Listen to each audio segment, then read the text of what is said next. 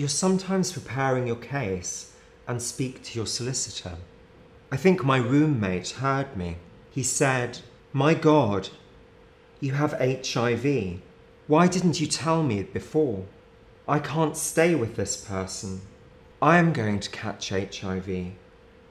Then he went outside to tell everyone else. As someone who is living with HIV myself, I find this particularly moving.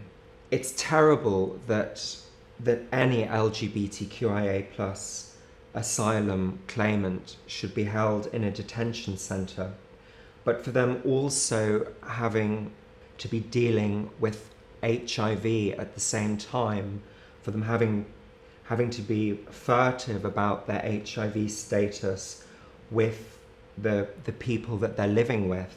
I, I, I just can't imagine how terrible that must be. And I think it really reinforces for me that as a community, we need to stand together.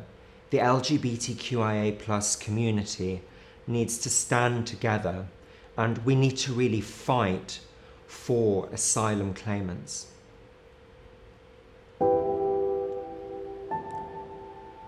Lend your voice. It's time for a time limit.